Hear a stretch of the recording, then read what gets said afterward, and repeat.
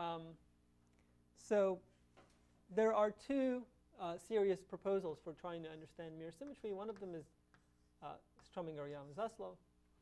So they suggest that uh, if you have a space X, then its mirror Y should be understood as a dual torus fibration.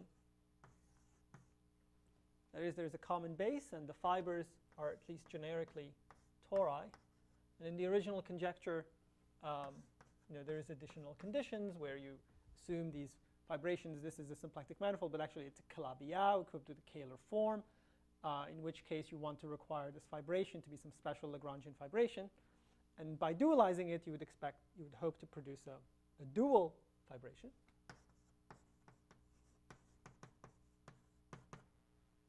Um, that would be the mirror Calabi-Yau. So that's, that's the picture for Strominger-Yau-Zaslow. The uh, other picture that is due to Kontsevich is homological mirror symmetry.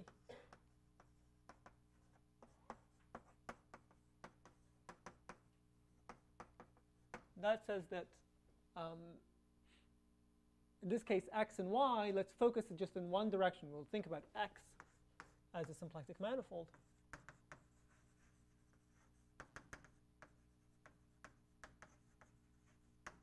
And y as some sort of algebraic variety, even though we'll see later it's not necessarily algebraic variety, but for now let's just pretend.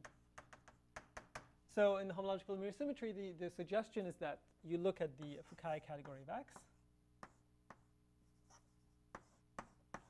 And this is some category with objects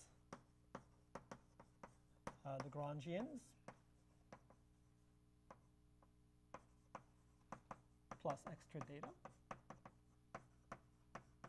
And on the algebraic side, you look at the category of coherent sheaves on Y.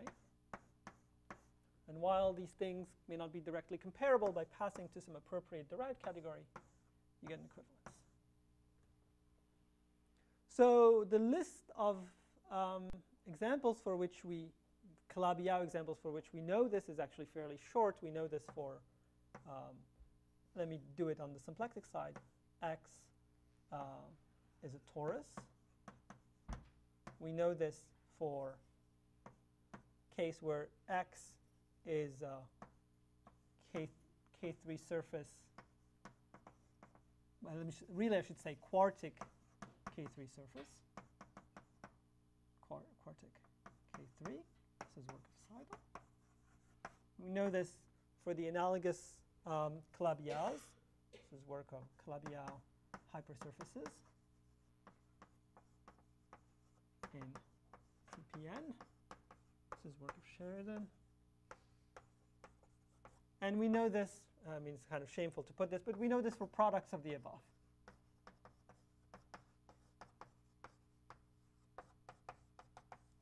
So I did this with Ivan Smith a few years back. So this is very, fairly short list. And in particular, uh, you'll notice about this list is that you know, all of these things are very specific symplectic structures. If you start deforming the symplectic structure a little bit, then you lose the ability to prove this. Is it true for the products of the above because it's true for any product if it's different individual factors? If it's something special about these no, it, it, the, the, the proof has to be sufficiently strong. So let me just say, it's not enough to know these equivalences of categories. You have to know that these categories uh, that you are working with are, are good in the sense that, um, well, there is a word for it in the sense, in the sense that there have to be enough coherent sheaves, in the sense that you can resolve, so let me just say on the algebraic side. You take y cross y, you take the diagonal of y cross y, and you need to know that that object, as an object of the category of coherent sheaves on y cross y, has a resolution that comes from things on both, that coming from, from the two factors. Once you know this fact, then you put in a bunch of homological algebra, and you can produce something like this. But if you had a space, if you had just some knowledge, I don't know how, how you'd be able to prove it, but if you just happen to take two manifolds, sort of categories, same as coherent sheaves, but you didn't have this extra additional knowledge about the categories, then you would not necessarily be able to include it for the product. It's a very good question, but it's not a completely general fact. It requires having enough objects. Um, okay, so, uh, so the, there's an idea of Kenji Fukaya from about 15 years ago. Uh, so Fukaya suggested that we should prove that we should um, prove homological mirror symmetry via uh, via using SYZ, SYZ duality. And the idea basically is that the is that Y is just a moduli space of objects of f of x. To be precise, maybe I should say simple objects uh, supported on the fibers.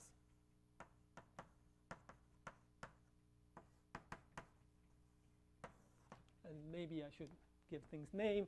Me call this pi. On the object of pi, on the fibers of pi. So what does that mean? Well, in this very simple setting here, uh, if fp, this is some fiber. So if I have a pair fp nabla, where this is a unitary local system on um, fp, so given, sorry,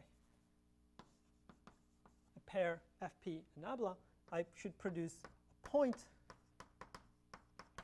in y, and that's the meaning of the statement that y is the the five, uh, y is obtained by dualizing x, passing from the torus itself to unitary local systems on the torus uh, is basically dualizing it. Point, so it's a given fp, which is a point in y, and a Lagrangian, general Lagrangian, let's say L inside X, we can form a group, Floer cohomology group, homology group. Let's now let's just call it for now HF star of L with the pair FP comma nabla. And the assertion that we should prove homological mirror symmetry via SYZ duality is the statement that these groups should be again uh, the, the fibers of the coherent sheaf. I'm going to put quote unquote here because of this problem with having to pass to the derived category, but let's ignore it again for now, of the coherent sheaf on Y, which is mirror to L. So, mirror homological mirror symmetry tells you to a Lagrangian you should be assigned should be able to assign a coherent sheaf again up to ignoring this derived problem. So there should be a functor from here. We're going to take the functor to go from here to here. How do you take this assignment? Kai's suggestion is that this assignment is essentially tautological. If you can make it, if you can you know, check the right things. You take a Lagrangian, the point a coherent sheaf, you want to think of it as just family of vector spaces varying in some controlled way over Y, and the family of vector spaces is just going to be these Floer cohomology groups. Okay? So what are the difficulties in making this precise?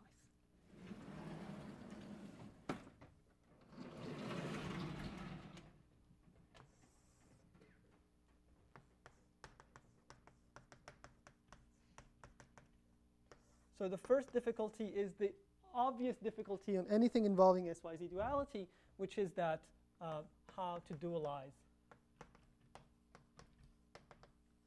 singular fibers of pi.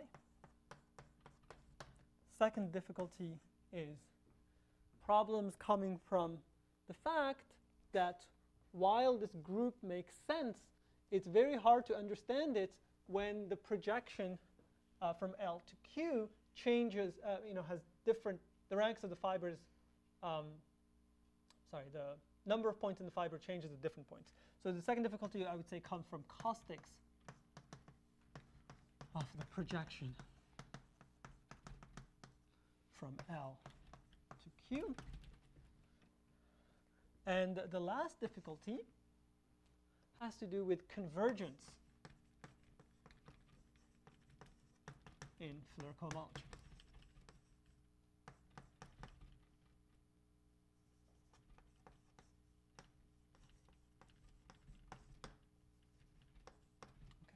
So already here, I pretended I'm going to take a fiber and take a unitary local system. I didn't say what coefficients I was using. In the SYZ proposal, originally x was a Calabi-Yau, complex Calabi-Yau, y is a complex Calabi-Yau. So if you go through this dualization procedure and you believe that you will produce uh, a coherent sheaf on y, uh, then in particular you need to make sure that you can do Floer cohomology over the complex numbers. That means that you, when you count, whatever is Floer cohomology is going to count some things, that count has to converge. And this is something that we, of course, do not know, and certainly not in this setting, certainly not in this generality. So today, um, just a rough summary, we ignore this, ignore this problem. By ignore this problem, it basically means I will work in a setting where there is no singular fiber. And we, so I will um, resolve this problem in the standard way by working um, over the Novikov, over something called the Novikov field. I'll come back to this in a second. And uh, finally, um, this caustics, maybe this is the main point, is that uh, we also resolve this by perturbations. By maybe instead of saying perturbation, I say by using continuation map. Okay, and and I have to say, kind of the seed, you know, there's been, if you try to think about what, see what's been done before, um, you know, Fukaya had, you know, contributions for two and for three, but I think he's been too distracted in the last five years by other things. N things have never been actually put together um, in the way that I'm going to say. So, but, but, definitely the ideas here are related to some things that have appeared in Fukaya's work. Okay, so let's. Where was it? It is a fiber. Yeah, fiber of pi at p. p is a point in Q. Sorry, maybe I didn't make that clear. There's an x of p somewhere? Oh, somebody else may write x of p, maybe. I won't. Um, okay, so, so now let me, before I can say anything meaningful, I have to describe to you what is this ring that is going to show up. So uh, that's, that, that's where we start doing uh, non-Archimedean geometry. So, so lambda is called the Novikov field.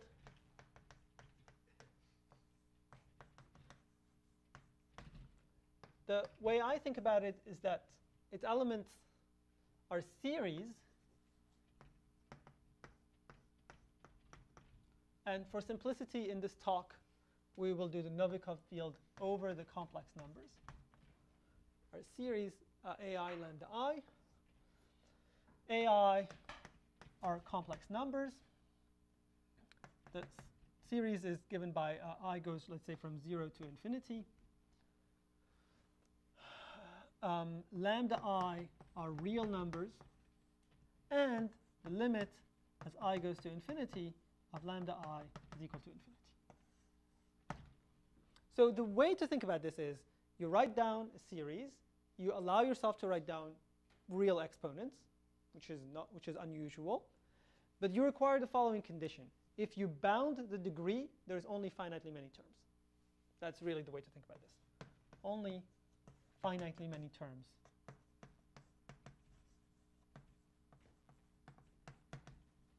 of bounded degree.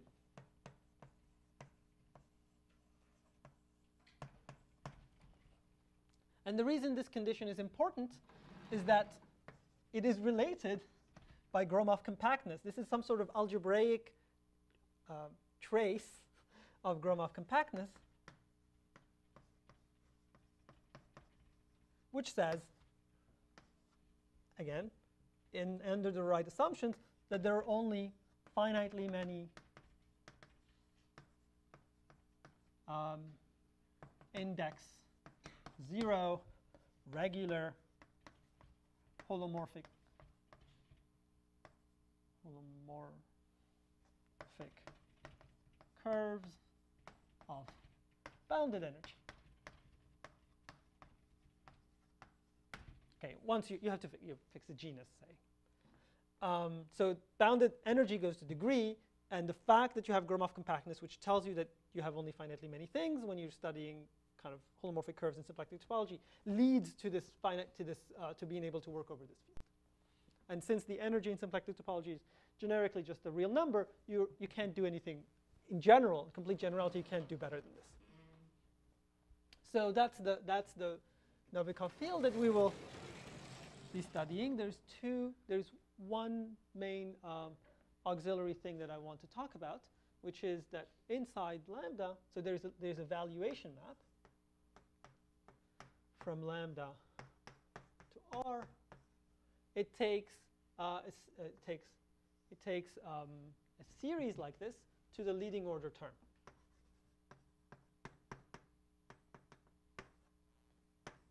Goes to a0 um, if lambda 0 is less than, let's say, lambda 1 less than all the other ones. So this is the leading order term.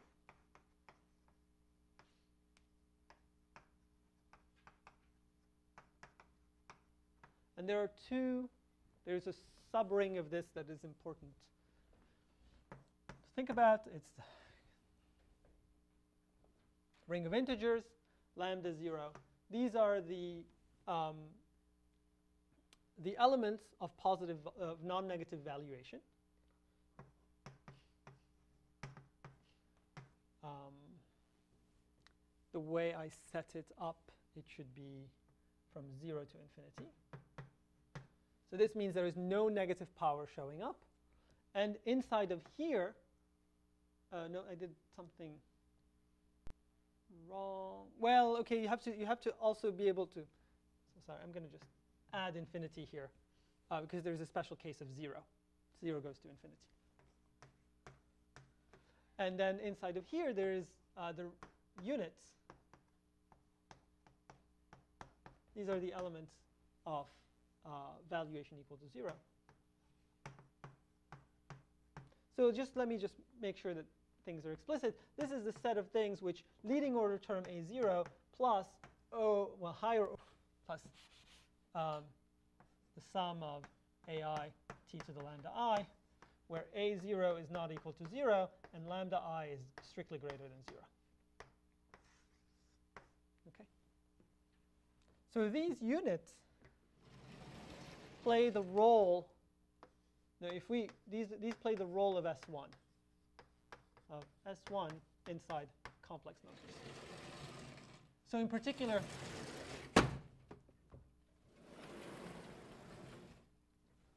the correct interpretation of this unitary local system on FP, the one that's the, the, interpretation that will make sense in general, is to think of this unitary local system as a local system with value with, with monodromy uh, in this in this u lambda. So um, we define. Um, so we sorry we obtain Floer groups their cohomology groups.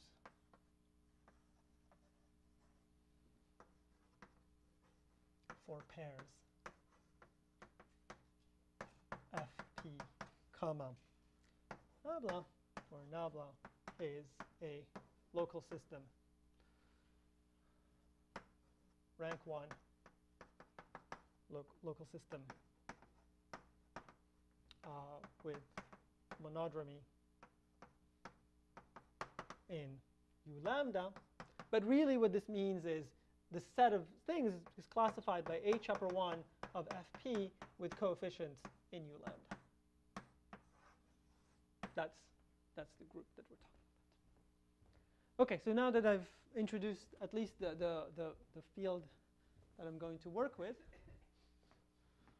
let me now uh, explain what I mean by we will ignore this problem of uh, singular fibrations. So we go back to this picture. And now, so assume that x over q, this is my fibration, this is, is a smooth Lagrangian fibration.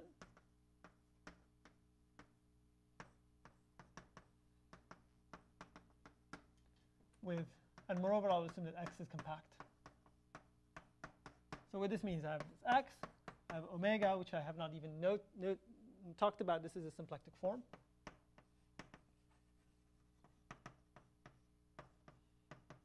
I have this projection from x to q, and I assume the fibers are Lagrangian submanifolds, and they're all smooth. Now there is a result of Arnold, called the Arnold-Liouville theorem.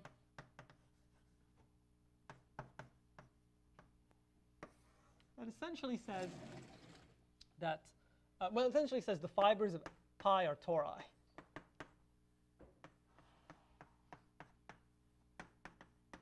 I mean, it says, it says it, it's much more precise than this. In particular, um, it gives you the following information. It gives you a canonical identification between the tangent space of the base. So if P is a point in the base, gives you a canonical identification between the tangent space of, of Q and the first cohomology of the fiber at that point with R coefficients. And of course, this contains in it H upper 1 of Fp with Z coefficients. Um, yes. Okay. So let's write, so this means that we obtain a lattice.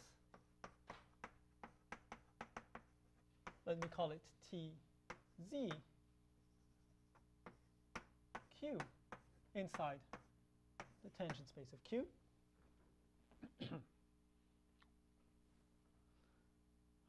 so of course I can take think about the total space, and this, this lattice has some special properties. The sections are locally defined. Um, the du dual sections are, are locally defined as the differentials of functions, but that may show up later, not necessarily right now. Uh, but the most important thing that I want to say is that since I have this lattice, I can just form a space. Well, right now it's just going to be a set, really, uh, which will be y as a set, uh, which is going to be this tangent space, which I think of as fibered over Q in lattices, tensored over Z with U lambda. Okay?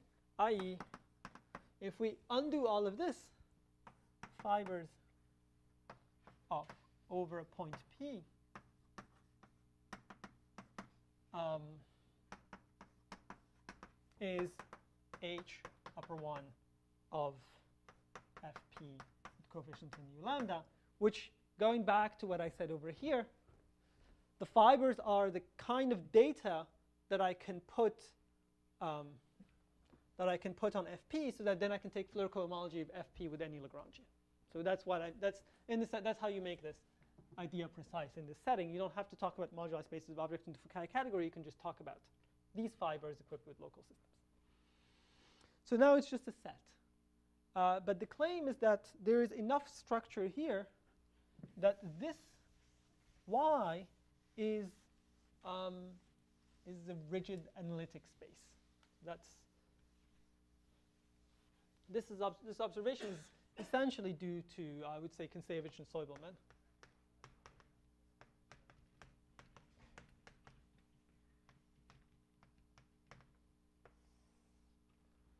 Y is uh, naturally a rigid analytic So what does this mean? So this means um, the idea is that you, we are going to do uh, we're going to do constructions not over the complex numbers but over this field. But instead of our constructions being algebraic, instead of doing algebraic geometry over this, we're going to do something that looks like doing complex analysis over this. That's one way to say this. Um, and the, the easiest way to produce this is we, the easiest way to produce this rigid analytic structure is by giving charts. So obtain charts, which are called affinoid. Think of them as actually an affinoid cover, cover, but let me just call them charts for y by affinoids, domains as follows.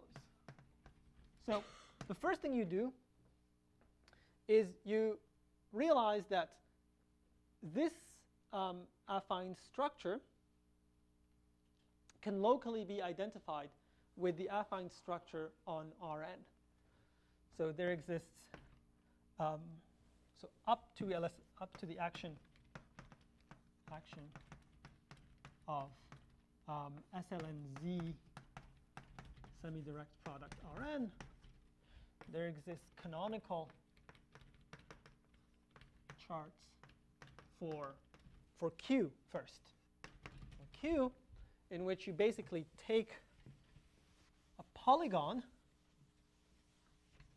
to take, a, let's say, the neighborhood of the point P. take, uh, so take P, it lives in Q. I'm going to take a neighborhood of P, the little p, big P. Um, and I can map this to Rn in such a way that this lattice, tangent space, the integral tangent space at a point, uh, which I guess, anyway, uh, maps to the standard lattice Zn. When I look at the map on tangent spaces, I take this lattice to this lattice.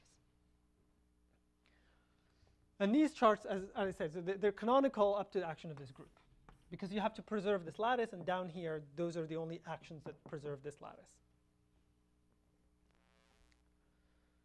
Now, once you're in this situation, once you know that you have these um, charts that actually embed in Rn, we can assume, and I will do this from now on, we assume that the image of P in Rn is an integral affine polygon.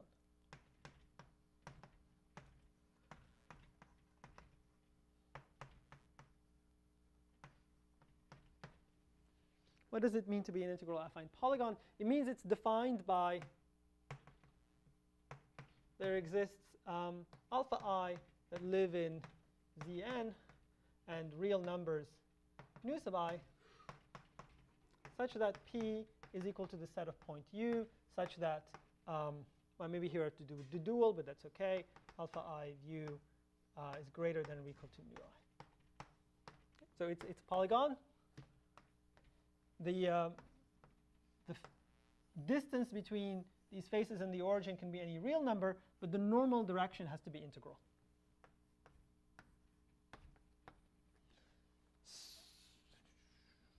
Okay.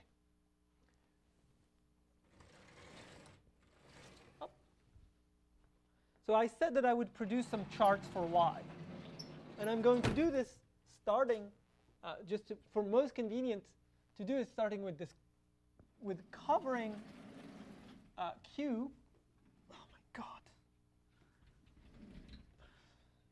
God. Um, we can cover Q by integral affine polygons whose intersections are again integral affine polygons.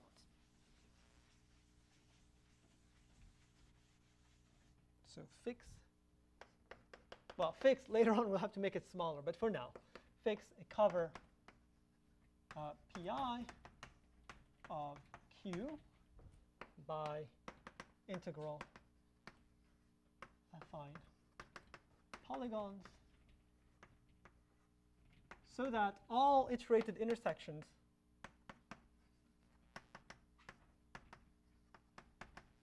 are, and here I said iterated, I did not write it, are again integral affine polygons.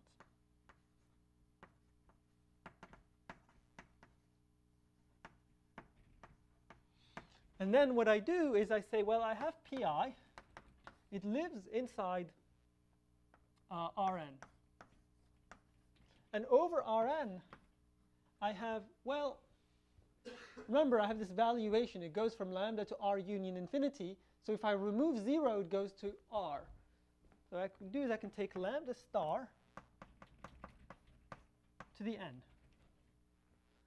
And I map lambda star to the n. Let's say an element in here is going to be a bunch of functions, f1 through fn. And I just take f1 to fn to the valuations of f1, valuation of fn. so, great. Um, I mean, I should probably call this pi check, but anyway, I, I just want to call this evaluation.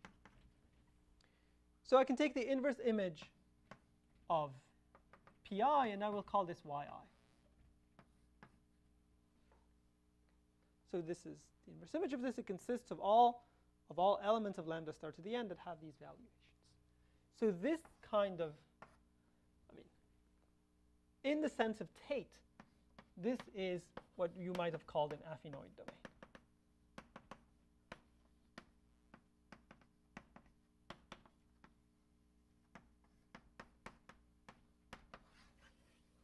So whatever it is, Tate says you can take these spaces, sets like this, as building blocks, the analogs of charts of a complex manifold. Uh, you, you, know, you can use these as the analogs of, uh, charts uh, uh, of a complex manifold. So in particular, we have um, we have these for every, so we have yi uh, for every pi, and actually, for every pij, we have something called yij.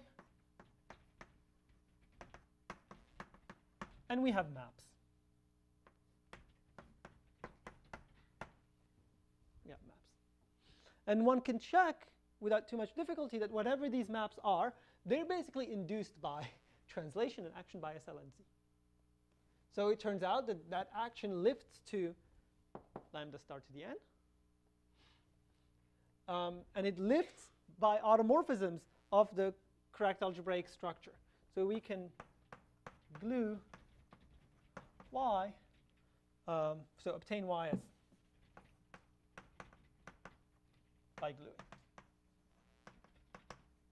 Now, of course, now that I've said this is we obtain y by gluing, we still have to compare it to the original thing. The original thing was some sort of canonical thing. We just used the lattice and we tensored with u lambda. We obtain a set. Um, but this is not too hard. I mean, the key thing is to is to compare uh, the fibers at any point. I mean, once you, I mean you can you just we just want to identify this set with that space obtained by gluing. And uh, and I just want to say that this embedding uh, of p inside Rn, this is like choosing a basis for uh, h upper 1 or h lower 1 doesn't really matter uh, with z coefficients. Okay, so under that choice of basis, um, you can identify h1 of fp with u lambda with u lambda to the n n copies of u lambda. But this is exactly the fiber of this valuation map. val inverse. Um, it's really the, if you put 0, 0, 0, but all the fibers are the same because you can just translate in Rn. So this is the space we're talking about. We are, when we say, you know, when we want to do mirror symmetry and in a setting where we don't have convergence, you could do very delicate things where you work over this, this Novikov ring, lambda 0, but if you're not doing such delicate things, we just want to prove an equivalence of categories, the likeliest place you're going to manage to prove equivalence of categories is over the Novikov field. So this sheaves on this space should correspond to the Fukaya category, because that those are the two things that can be most easily compared.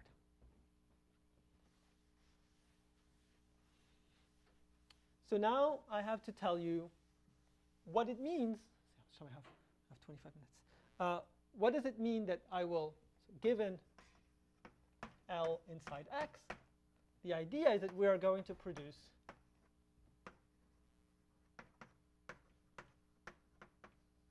sheaves, um, sheaves, let us call these sheaves H, K, script L. And this is going to this notation is suggesting something. It's suggesting that really we're trying produce, producing some complexes, and then those complexes have cohomologies, and those cohomologies are the sheaves that we're taking, um, whose fibers are H at some point are these Floer cohomology groups.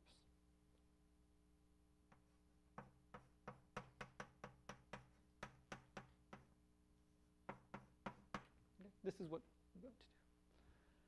But again, the way to do this um, is suggested by this gluing construction. What you want to do is you want to produce uh, sheaves on each of the yi's and isomorphisms between their overlaps. I mean, between their, their, uh, the restrictions to the overlaps. That's what we're going to do. Use uh, description of y as obtained from cover.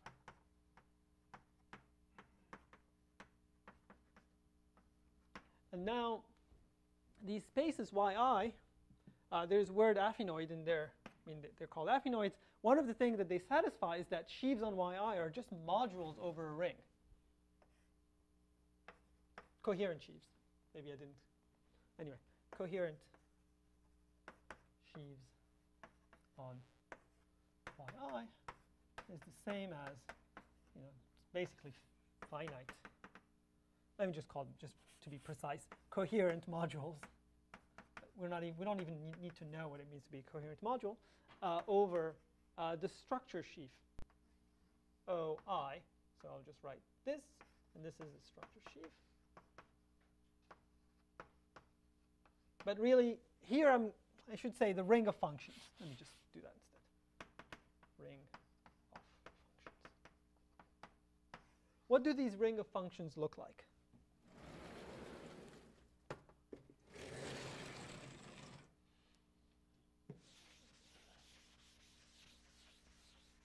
So it's, it's easiest if I, instead of doing the most general situation, I just do, uh, let's do dimension 1. So lambda star maps to R, and here, this polygon that we're talking about, it's just an interval. Let's let that interval be A to B, and this is the inverse image. Let's call this here for now. And I'd like to know what, what do I, when I talk about this ring of functions, what am I talking about? Well, the way to think about it is that let's start with lambda star. What is a function on lambda star? Well, for a moment, let's do, let's step back and let's talk about what is a function on C star. You should think of that as basically a Laurent polynomial. Well, so that's on lambda star, but it's a Laurent series if you're talking about this. Sum AI. Um, now I'm going to put z to the i, where ai lives in lambda. That's what a general element um, of, that's what, well, that's what you would think of as a function on lambda star. It should, it's allowed to have to go to minus infinity, minus infinity to plus infinity. But if we're studying this set, we'd like to require that, these, that this function converges, converges if z lies in this domain. And converges in what sense? Well, converges in the t-adic sense, in the, well, in the sense of valuation. So this is an adic convergence.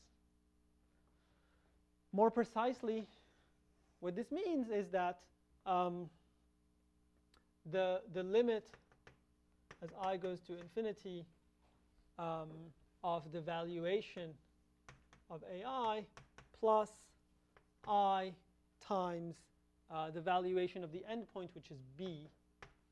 Okay. You'd like for this to be infinity. And similarly, uh, the valuation of ai minus i times b uh, is also. This is basically the Sarov condition. You put a growth condition on these coefficients to make sure that whenever you plug in something which lies in, which has this valuation, you, you only get finitely many terms uh, below a given, below a given, um, below a given degree. So what we need to see, so the, the claim is that something like this, we're going to be able to produce uh, from Floer theory a module over this ring. So how do we do it? So let's assume, for simplicity, that we have a Lagrangian which is transverse to a fiber.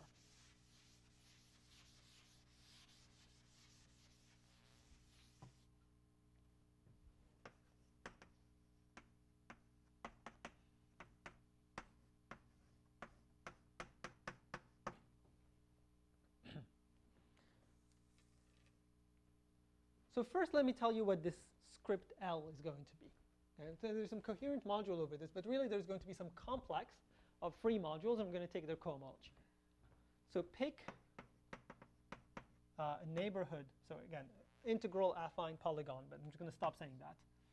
A neighborhood P, capital P, P lies in it. And it has to satisfy at least the following property. And we'll see that in the end this is not enough such that f p prime transverse to L for all p prime in P. So I have my P here. I have some Lagrangian which is transverse to it, uh, which is transverse to the fiber.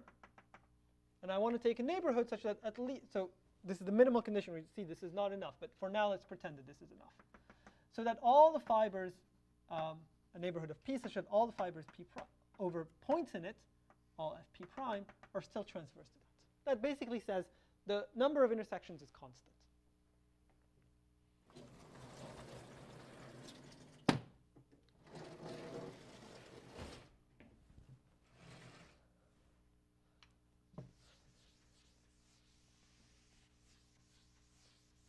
And now we want to find, to, to form um, a module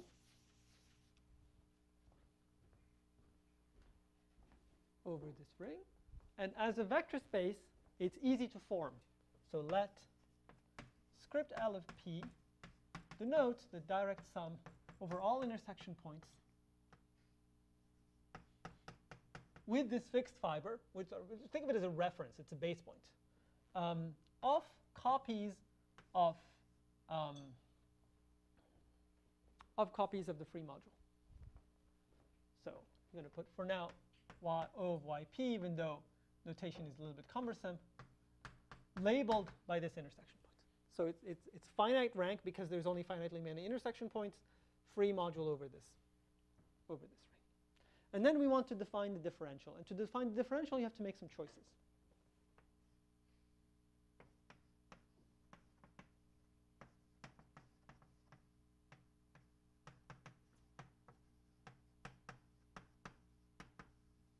The main choice you have to do is you have to pick, um, it's really just a homotopy class, but a homotopy class of paths from um, x, which is an intersection point, to a base point.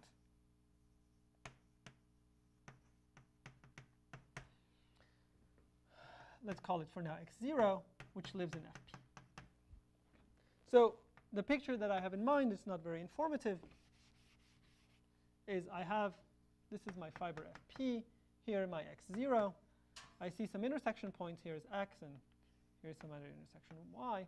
And I choose this, I, I have to pick this path that goes from here to here. But of course, this is a, this is a, you know, this is a torus. So for this guy, I may not be picking this path, I may be picking this path. There's no canonical choice of these paths. I, could be kind of going back. make going around. That's, that's life. Okay. So given this choice of homotopy classes of paths, we can assign to each holomorphic strip. In fact, it doesn't need to be holomorphic. To each strip, uh, let's call it V, that goes from uh, the disk. It's mapped from a disk to X, which takes this boundary to FP and this boundary to L, and takes these two points to intersections. Let's call this little x and little y for now. We can assign to each map like this a homology class, which I will call the class of the boundary of V, and it lives in H lower 1 of Fp with z coefficients. So how do I produce this homology class? Uh, the picture is very simple. So it's, it's better, again, if I, here's x, here's y, and let's take a strip this is the kind of strip you would run into. You restrict the strip to the boundary. And when you restrict the strip to the boundary, you get a path along the boundary from x to y. And now you concatenate the path from x to y with the path from y to the base point that you fixed earlier, and then with the path from the base point to x. And out of that, you get a loop. And that loop has a homology class in H lower 1. So this is the choice that you, you have to make this choice in order for one to, to proceed.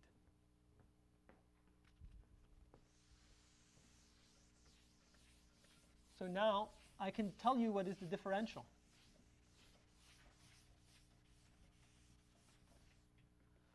So the differential, uh, and I'm not going to, of course, uh, on LP is defined, well, by counting. What you do is that d of x is equal to the sum over all y of some number, which we'll come back to in a second. And then you multiply that. Um, actually, let me just, instead of doing like this, I'll just do stuff of V, which is a strip from y to x, rigid strip.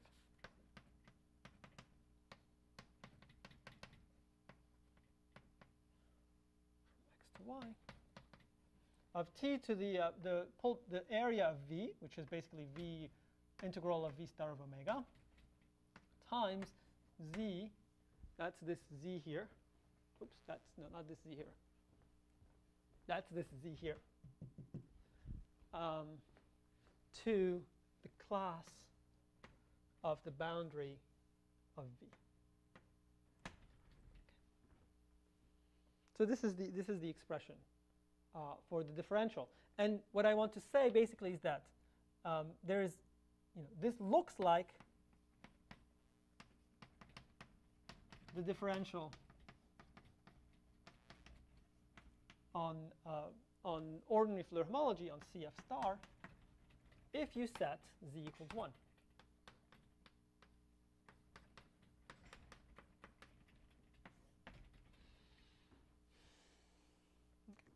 And maybe one more thing to say is that here I'm writing z to a power, which is a class in h lower 1 of f with z coefficients. But of course, if you choose a trivialization, this is just in something in zn. And the analog of um, Laurent polynomials in one variable, where you're allowed z to the i, where i is an integer, is that, well, you have several coefficients, z1, z2, z3, z4, and you can raise each of them to a positive or a negative power. That would be a, a Laurent monomial in general. So when you write down this expression,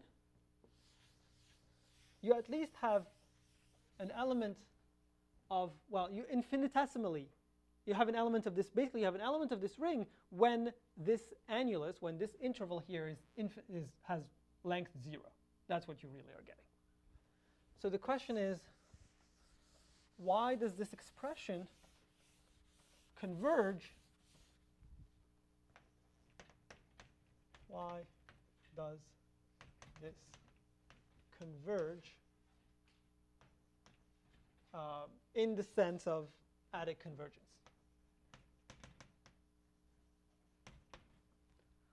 And the, the answer is basically like this. So if I plug in z equals, let's say, t to the alpha,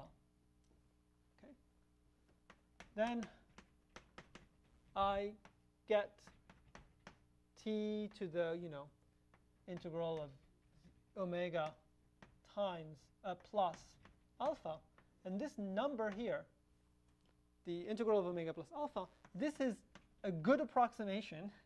So here can't be precise, this approximates the area of a holom of the hol of the holomorphic disk holomorphic strip with boundary on L and Fp plus alpha. Okay, so the picture is as follows. Again, let me go back. To, maybe I should redraw it. I have my Fp here. I have my L. And when I try to understand convergence of this function, basically what I have to do is I have to plug in for z points which lie on this um, on, uh, on this affinoid y, which basically means points that correspond to nearby fibers, nearby fibers of my Lagrangian fibration. So let's take such a fiber and just abuse notation and write such a fiber as fp plus alpha using this uh, basically trivialization of the base. And now the area of this holo original holomorphic disk, this is u star of omega, uh, integral of u star of omega. And the claim is that this area that you get by moving the, the Lagrangian, it's not exactly this, but it can be approximated by this well enough that you can control convergence. So this is approximately integral v star of omega plus alpha. Okay, so that's the idea, and that would work if you knew that there was no, that the moduli spaces of holomorphic disks did not have, were basically constant. There was no, no bifurcation in the moduli space. And that's not, of course, that's, nothing guarantees that for you. Uh, you could think that if you choose a neighborhood smaller and smaller, sufficiently small neighborhood, it would hold, but even there it's not guaranteed for you because it would only hold up to bounded energy. So, so problem, what if there is jumping, or let's say bifurcation, in the moduli space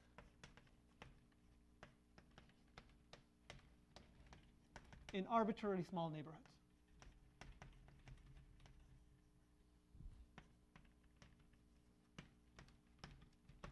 And here the solution, uh, this is just an adaptation of an idea that Fukaya used in the case where there is only one Lagrangian. So I'll just say that Fukaya, an idea Fukaya tells you what you should do is you should just pick a diffeomorphism just a diffeomorphism, not a symplectomorphism. Phi, which takes, which preserves L and takes f of p to f of p prime and preserves the tameness of J.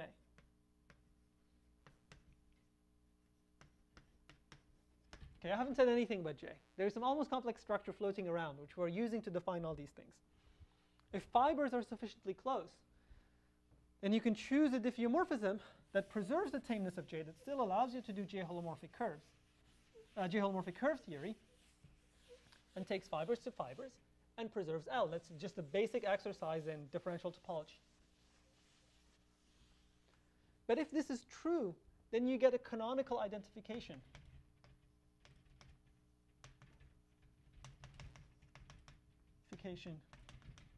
of moduli spaces of moduli spaces of strips.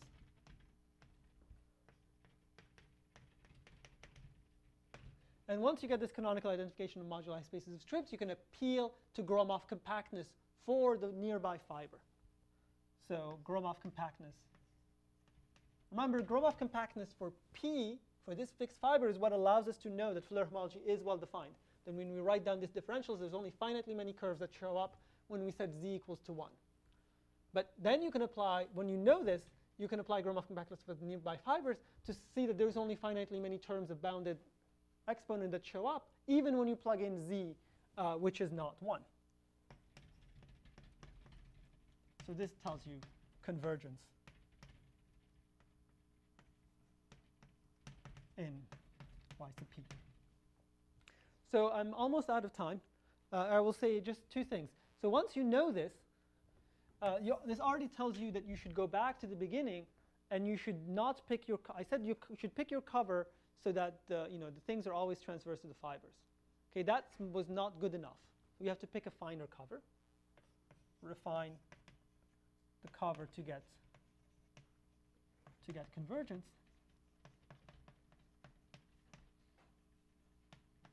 But then once you have this cover, we get convergence, then you look at the double intersections. So on yij, remember these are now the inverse images. These correspond to some polygon pij, which is pi intersect pj. On this, we now have two complexes. You obtain Li restricted to Yij. Li is just that guy over there, for which we made the choice associated to uh, L, and you get Lj associated to Yij. But they're not necessarily the same because you may have made different choices for the different fibers. So what relates these two is a continuation map.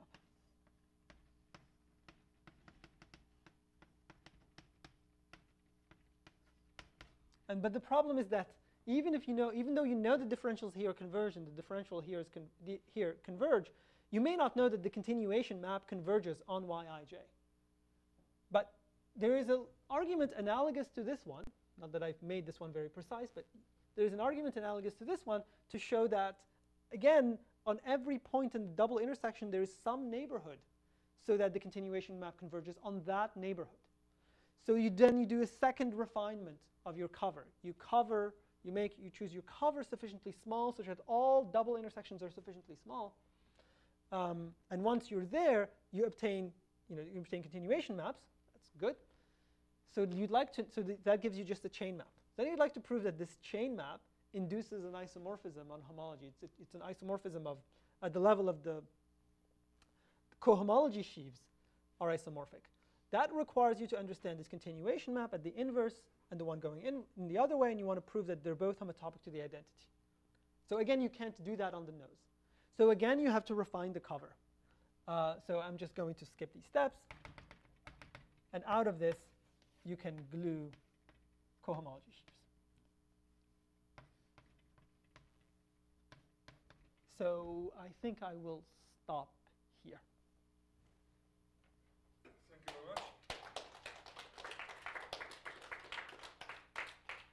Questions? Okay, so um, so you, work very hard, and um, at the end you represent the data which you had at the beginning in, in, in a different way. Yes. So now whenever somebody tells me mirror symmetry, says, well, if you want to study Gromov-Witten invariants, you use mirror symmetry, and then you just have to compute some sheaves, and then you easier. So, so this would help if for certain situations you have can give a geometric meaning, I think, to the problem. Yeah. So How does it work with, With this. examples which you, have, which you? So um, I will, yes. So the, the, the, the example that this should be applied to um, is, I think I have a second, is the Thurston manifold.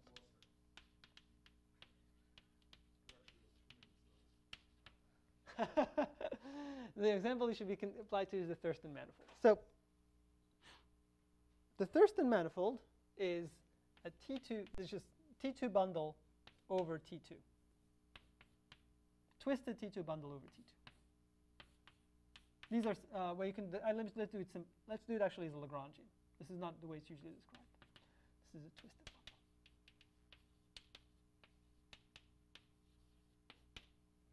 Okay.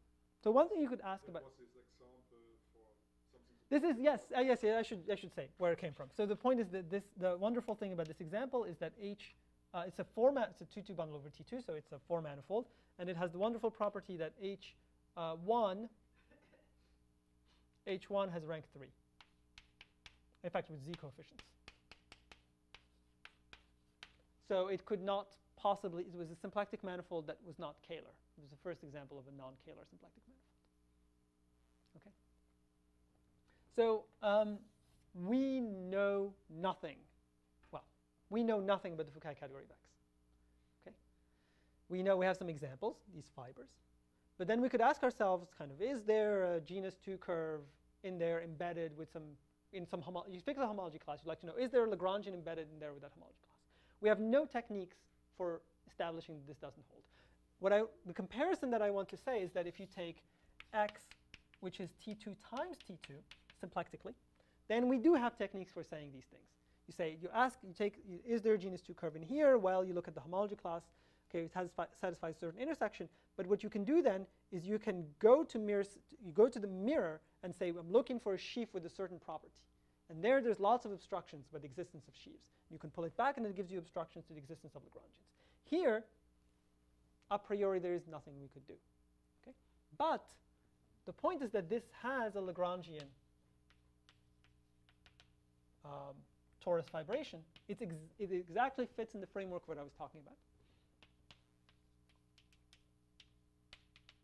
And out of this Lagrangian torus fibration, you can take the dual.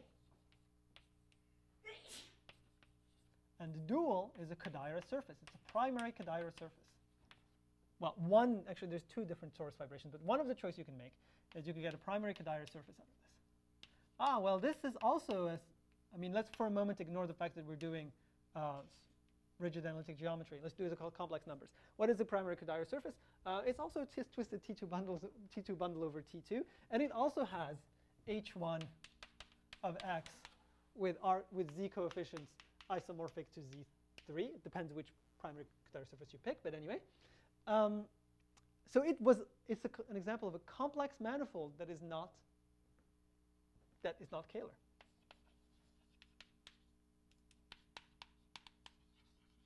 Now, you can then translate questions about in, from here to questions from here.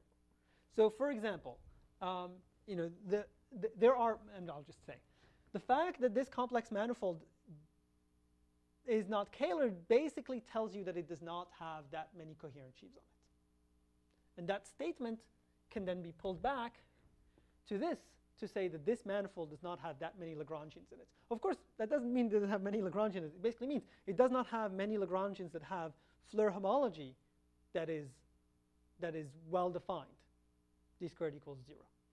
So out of this, if you could implement the whole program, which of course not nowhere near yet, but if you could implement the whole program, you'd be able to, to, to give you know, information about the symplectic topology of this object from, oh, sorry, that should be y,